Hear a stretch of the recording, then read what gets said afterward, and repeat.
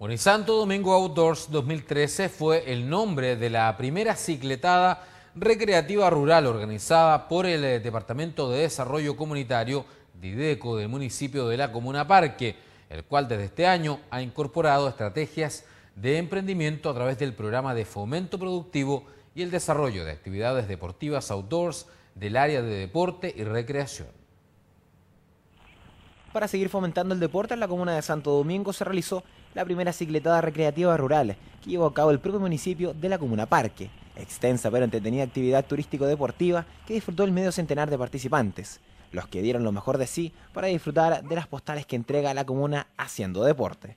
En cuanto al recorrido, este fue de más de 20 kilómetros de esta nueva propuesta que comenzó en la localidad rural de Campo Alegre, en donde los participantes tuvieron la oportunidad de conocer y degustar productos típicos de la zona. Continuando el recorrido. La cicletada emprendió el camino pasando por las localidades de Portales y Santa Lucía, hasta trasladarse al estero El Yali, donde fue necesario cruzar en bote para llegar hasta las Salinas, concluyendo así la actividad en el parador turístico El Cisne de aquel sector,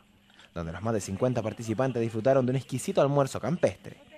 El objetivo de fusionar ambas áreas de la entidad pública consiste en desarrollar actividades en el área turístico rural, las que generan emprendimientos sustentables en torno al avance del turismo, además de incentivar a la práctica de nuevas disciplinas, aprovechando los recursos y atractivos geográficos.